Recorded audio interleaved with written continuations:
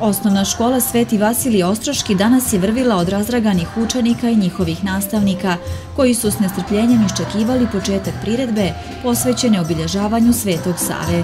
Svečanost je otvorio školski hor koji je otpjevao himnu Svetom Savi, a u životu i dijelima ovog svetitelja učenici su govorili kroz stihove, ali i kroz kratke priče te scenske prikaze. Sveti Sava je nesmenivi vladar srpskog naroda, Priču o njemu Srbi pričaju vekovima, a ta priča niti stari, niti se umara, niti se može zaustaviti, niti ispričati do kraja.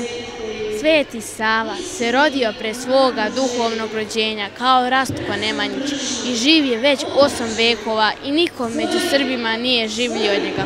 Hor, likovna, literarna sekcija, dramska i folklorna sekcija raznovrsnim sadržajima pokazale su publici sve ono što su prethodnih mjeseci vrijedno vježbali i pripremali kako bi što svečanije obilježili školsku slavu Svetog Savu.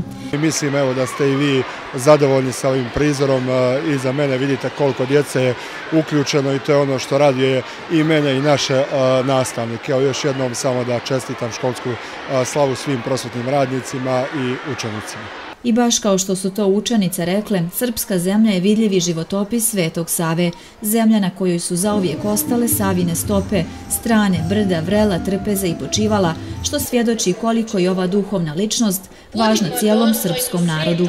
A ono što je bitno i čega bi trebalo da se pridržavamo, jeste poruka koja Savinom djedovinom vjekovima odzvanja.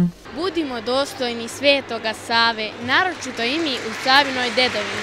I molimo da onaj koji je sastavljao planine, sastavi i nas kojim se obraćamo sa molitvom, požuri se sveti Savo i pakosti izbavi nas.